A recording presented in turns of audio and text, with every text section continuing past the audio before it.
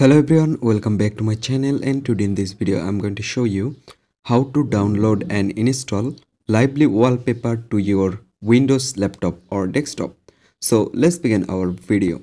So first of all how do you need to do? Just connect the internet to your laptop or desktop and then go to taskbar and there have an option for microsoft store.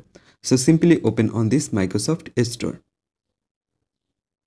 So here you can see it's loading now and you just need to wait and after open on it you just need to scroll down and click on uh, on the top free apps. There have a select all option. Click on it.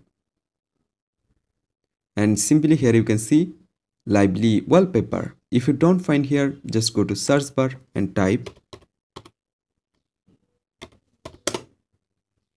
Then you can find it lively wallpaper. Open on it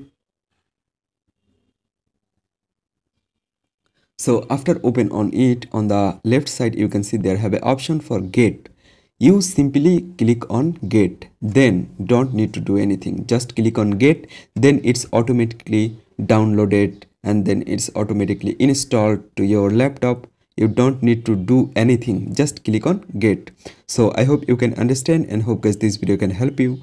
Don't forget to like and subscribe to my channel